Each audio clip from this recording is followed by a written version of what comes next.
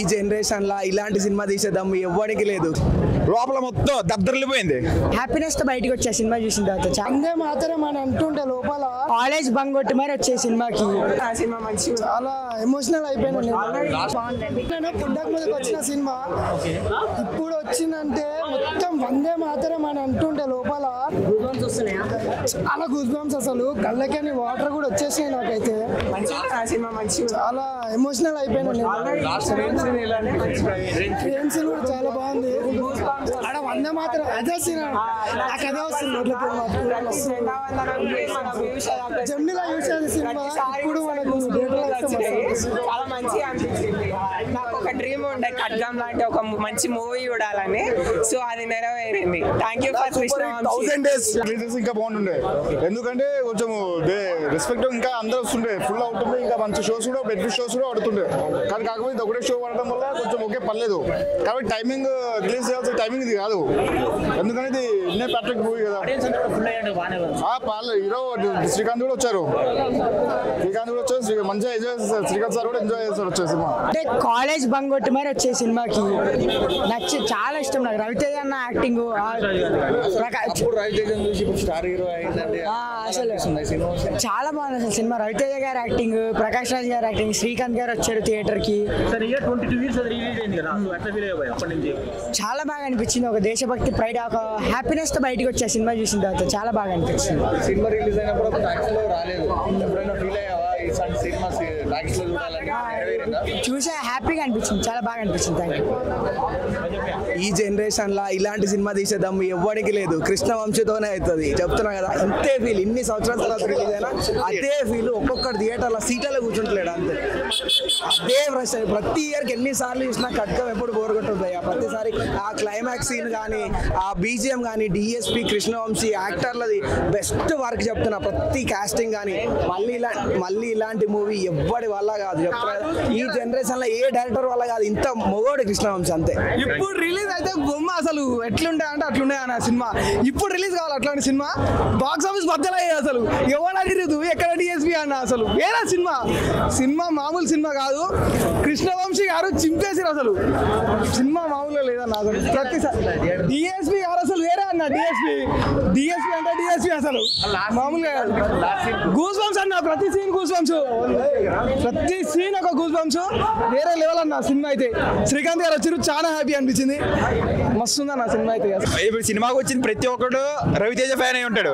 ఒక్క ఛాన్స్ ఒకే ఒక ఛాన్స్ లోపల మొత్తం దద్దరిల్లిపోయింది. చూసుకొని కావాలి లోపలికి వెళ్ళి. ప్రకాష్ పర్ఫార్మెన్స్ కానీ మొత్తం నేషనలిజం ఈ సినిమా ఇప్పుడు రీమేక్ చేయాలన్నా సరే వాళ్ళే ఉండాలి. వాళ్ళు లేకపోతే ఇప్పుడు సినిమా లేదు ఇంకా. ఖడ్గం సినిమా ఉందంటే అది రవణ ప్రకాష్ అన్న శ్రీకాంత్ అన్న వీళ్ళ వల్లే. ఇంకేం లేదు. బీజిఎం డిఎస్పీ గట్టి బీజిఎం కానీ. అది ఇంకా సీట్లో పూనకాలు తేడుస్తున్నారు ఒక్కొక్కడు వెళ్ళిపోయా.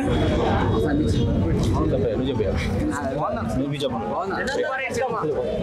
మొత్తానికి అన్న మాకు ఆల్మోస్ట్ మేము అప్పుడు రిలీజ్ అయినప్పుడు మేము చూడలేదు.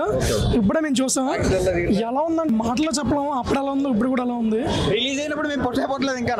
కానీ ఇప్పుడు నిజంగా శ్రీకాంత్ అన్న ఎనర్జీకి ఆ రవణ ఎంత ఎంత కష్టపడాడు ఎంత పైకి వచ్చాడు అనేది క్లియర్గా మాకు కనిపిస్తుంది. మొత్తం ఒక ఛాన్స్ అని ఒక ఛాన్స్ అని చాలా బాగా తీశారు మూవీ మొత్తం ఇప్పుడు రిలీజ్ కనుక బ్లాక్ అయ్యేదంట ఎక్సలెంట్ అప్పుడు రిలీజ్ అయిన సరే బ్లాక్ బస్టర్ ఎక్సలెంట్ దాని మించి బ్లాక్ బాస్ అవుతుంది ఇప్పుడు pan India pan India blockbuster అయిపోయింది ఇప్పుడు అప్పుడు అంటే ఫేస్బుక్ వాట్సాప్ లేవు ఇన్స్టాగ్రామ్ లేవు. సోషల్ మీడియా అనేది లేదు కదన్నా. ఇప్పుడు మాత్రం నిజంగా వచ్చుంటే పాన్ ఇండియా బ్లాక్ బస్టర్ అయిపోయింది. చాలా ఉన్నాయి చాలా మూవీస్ అప్పుడు రోబో ఒకటి ఆరెంజ్ ఒకటి అన్ని ఇప్పుడు రిలీజ్ ఎప్పుడేమనుకున్నా పులి పులే సింహం సింహే కుక్క కుక్కే. ఖడ్గం ఖడ్గమే. ఎక్కడున్నా ఒకటే. ఎప్పుడు రిలీజ్ అయినా ఒకటే. ఇదే హై ఇదే ఫీల్ దడదల్లా అడిచడమే. అయింది. మెయిన్ ప్లస్ పాయింట్ ఆయన అంటే ఒక ఎలివేషన్ క్యారెక్టర్ అందరికి ఒక్కొక్క క్యారెక్టర్ ఇచ్చారు. రవితేజ గారికి ఒక్కొక్క టైప్ క్యారెక్టర్ ఇచ్చారు. శ్రీకాంత్ గారికి ఫుల్ ఎలివేషన్ క్యారెక్టర్ ఇచ్చారు. ప్రకాష్ గారికి ఎమోషన్ క్యారెక్టర్ ఆయన చూసుకుంటే ప్రకాష్ గారిని చూసుకుంటే మనం మనం చూసుకున్నట్టు అనిపిస్తుంది. అంటే డైలీ కష్టపడి మనం పని చేసుకుంటాం. అంటే ఎట్లుంటుంది అనేది ఆయన మంచి చూపించిండు. అంటే హిందూ ముస్లిం ఒకటే ఉండాలి బాగా చూపించిండు. టోటల్గా ఈ క్రెడిట్ అయితే ఈ ముగ్గురిని చూపించిన క్రెడిట్ అయితే కృష్ణంజీ సార్దే. ఆయనకి ఎప్పటికైనా ఆయన ఎవర్ గ్రీన్ డైరెక్టర్ అయినా ఆయన సినిమాలన్నీ ఒక ఎత్తు వేరే లెవెల్ ఇప్పుడు సినిమాలు లేవేమో కానీ ఆయన ఒక టైంలో తోపు డైరెక్టర్ అది మేము చెప్పేది. ఇప్పుడు అందరు రాజమౌళి అంటారు కదా ఒక టైంలో ఆయననే తోపు కృష్ణంజీ సార్. ఎందుకంటే అదేది నాగార్జున గారితో ఒక సినిమా ఉంది. తర్వాత మురారి కానీ నాగార్జున గారితో ఏమో సినిమా కదా అది. నిన్నే పెళ్ళాడతా గులాబీ ప్లస్ మురారి ఇప్పుడు మళ్ళీ ఇది ఇది చందమామ అన్ని ఎవర్ గ్రీన్ మూవీస్ అయినా ఆయనకు ఒక్క సినిమాతో ఒక సినిమా లింక్ ఉండదు. కృష్ణవంశీ సార్ గారికి hats off first of all ఇట్లాంటి సినిమాలు చేస్తున్నందుకు. సార్ మీరు మళ్ళా రావాలి మళ్ళీ ఒక మంచి మ్యూజిక్ డైరెక్టర్ తోటి మంచి డైరెక్ట్ మీరు ఒక డైరెక్ట్ చేయాలని చెప్పి కోరుకుంటున్నాం సార్. మొన్న రంగమార్త అంటే చూసినాం మంచి రివ్యూ మంచి సినిమా. కానీ అలాంటిది కాదు సార్ ఒక ఖడ్గం ఒక మురారి లాంటి మళ్ళీ ఒక సినిమా రావాలని కోరుకుంటున్నాం sir. Krishna Vamsi sir we are asking you that movies Ravi Teja కష్టం మొత్తం కనిపించింది ఈ సినిమాలో? రవితేజ ఎప్పటి నుండో కష్టపడే వ్యక్తే. పెద్ద ఆయన ఏంటంటే బిగినింగ్ అయినది అప్పుడు. ఆయన యాక్టింగ్ లెవెల్స్ ఏందనేది మనం ఈ సినిమాలో చూసినాం. అప్పటికే అప్పటికైనా స్టార్ కాలేడు. బట్ చాలా ఇప్పటికీ చెప్తున్నా కదన్నా అప్పుడు బిగినింగే ఇప్పుడు ఇంకా ఆయనది బీభత్సం చూస్తున్నాం రవితేజది. ప్రకాష్ రాజ్ నేషనల్ యాక్టర్ అని ఇందులో అప్పుడే తెలిసిపోయిందా ఈ మూవీలో? ప్రకాష్ నెక్స్ట్ నెక్టర్ నేషనల్ యాక్టర్ అని ఏం తెలియలేదు. బట్ ఏంటంటే ప్రకాష్ గుడ్ యాక్టర్ అంతే. గుడ్ యాక్టర్ ఆయనకి ప్రకాష్ గుడ్ యాక్టర్ అంతే. నేషనల్ యాక్టర్ అని ఏం తెలియలేదు. చెప్పాలంటే ఈ ముగ్గురిని చూపించిన క్రెడిట్ ఒక్కరికే. కృష్ణవంశీ సార్కి. ఆయనకు నేషనల్ అవార్డు రావాలి. శ్రీకాంత్ గారు వచ్చారు చాలా ఎంజాయ్ చేశారు. శ్రీకాంత్ గారు ఎంజాయ్ చేశారు అందరితో సెల్ఫీలు కూడా దిగాడు. చాలా మంచిగా రిసీవ్ చేసుకున్నాడు ఎవరితో విసుగు కూడా పడలేడు అందరికి సెల్ఫీలు ఇచ్చాడు. కానీ పోయేటప్పుడు పోయేటప్పుడు మాత్రం పగడబందిగా కార్ ఇక్కడికి వచ్చేసి వెళ్ళిపోయాడు ఎవరికి సెల్ఫీలు ఇప్పుడు ఇలా ఉన్నాడు ఇప్పుడు అలా ఉన్నాడు శ్రీకాంత్. చార్మింగ్ చార్మింగ్ అదే లుక్. ఉంటుంది కదా మెయింటెనెన్స్ కూడా ఉంటుంది కదండి చార్మింగ్ కదా అంటే లాస్ట్ సీన్ ఎలా అనిపించింది? అసలు సీట్లలో కూర్చున్నా లాస్ట్ సీన్ అయితే ఇదే సుదర్శన్ తడిఫేలో ఆ సౌండ్ కానీ ఎలివేషన్స్ కానీ వేరే లెవెల్ ఎందుకంటే సుదర్శన్ అంటే సౌండ్కి మెయిన్ ఆ సీన్కి కావాల్సింది ఎలివేషన్ ఇంకోటి ఈ సినిమా ఈ సుదర్శన్లో రిలీజ్ కావడం మా అదృష్టం. ఎందుకంటే మేము Mahesh Babu fans super star Mahesh Babu గారి ఫ్యాన్స్ ఈ థియేటర్ అంటే మాకు ఒక అభిమానం. అలా దీనిలో మంచి మంచి సినిమాలు రిలీజ్ అవుతాయి. దీనిలో రిలీజ్ అయిన ప్రతి ఒక్క సినిమా గోల్డే ఈ గోల్డెన్ థియేటర్ ఏ. సినిమా రిలీజ్ అయినా అప్పట్లో ఈ థియేటర్లో రిలీజ్ అయిందో లేదో తెలియదు. బట్ ఇప్పట్లో ఈ థియేటర్లో చూడడం మాకు చాలా అదృష్టం. ఏ డైరెక్టర్ దక్కంది? కృష్ణవంశీ రీ రిలీజ్ ట్రెండ్ నడుస్తుంది. మొత్తం మురారి కానీ ఇప్పుడు అందరికి దక్కింది అట్లా అన్నాను. కృష్ణవంశీ సార్కి ఇప్పుడు దక్కింది. అందరిది. Puri Jagannadh sir business man release చేశాడు. మళ్ళీ ఎవరు? ఒక్కడు గుణశేఖర్ గారు ఇదే థియేటర్కి వచ్చారు. అందరికి ఇప్పుడు రిలీజ్ ట్రెండ్ నడుస్తుంది. అందరు చూస్తున్నారు. ఇప్పుడు ఎందుకంటే కొత్త సినిమాలు తక్కువైపోయినాయి కదా. నాలుగేళ్ళు చేస్తారు కదా ఒక సినిమాకి. నాలుగేళ్ళు రెండేళ్ళు చూద్దాం ఇవే ఎంజాయ్ చేద్దాం. ఇప్పుడు మహేష్ బాబు గారి సినిమా కూడా నాలుగేళ్ళు పట్టింది.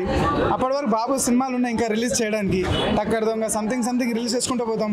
వేరే సినిమాలు కూడా ఎంజాయ్ చేస్తాం. ఎందుకంటే ఒక సినిమా చేయాలంటే డైరెక్టర్ ఇప్పుడు తక్కువ తీసుకుంటలేడు కదా. మినిమం మూడు సంవత్సరాలు తీసుకుంటుండు. దేవర కూడా మూడు సంవత్సరాలు పట్టింది.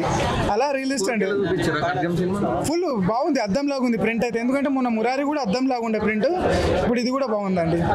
చాలా బాగుంది. ఇంకోటి ఏంటంటే చాలా గూస్ బంప్స్ అన్న. ఎందుకంటే ఈ థియేటర్లో ఆ స్క్రీనింగ్ కానీ ఆ సౌండ్ కానీ ఎలివేషన్స్ వేరే లెవెల్ వచ్చింది. వేరే లెవెల్ ఎందుకంటే ఆ సీన్ మామూలుగా టీవీలలో టీవీలో చిన్నగా ఎల్జీ టీవీ ఎల్జీ టీవీలో చూసేవాళ్ళం అప్పుడు. దేవసి చెప్పనక్కర్లే. చూసి ఇప్పుడు చిన్న పిల్లలాగా ఉంటాడు. అప్పట్లో ఇచ్చిందంటే నమ్మాలనిపించిందా? ఆ, నమ్మాలనిపించింది. ఎందుకంటే దేవిశ్రీ వేరైనా. దేవిశ్రీ ఆక ఆకలి ఉన్న రోజు రోజులు అవి. ఆకలి ఉన్న రోజుల్లో వేరే లెవెల్ బీజం ఇచ్చిండు. సో ఇంట్లో హీరోయిన్స్ కోసమా హీరోయిన్స్ కోసం ఈ సినిమాలో చెప్పకూడదు. ఎందుకంటే కట్గా ఎందుకంటే అంటే గ్లామరస్గా కనిపించారు. బాగా కనిపించింది. సోనాలి సోనాలి ఇంద్ర సోనాలి బింద్ర యాక్టింగ్ బాగుంది. ఇంకో ఆమె హీరోయిన్ తీర్చేసింది కదా ఆమె పేరేం పేరు?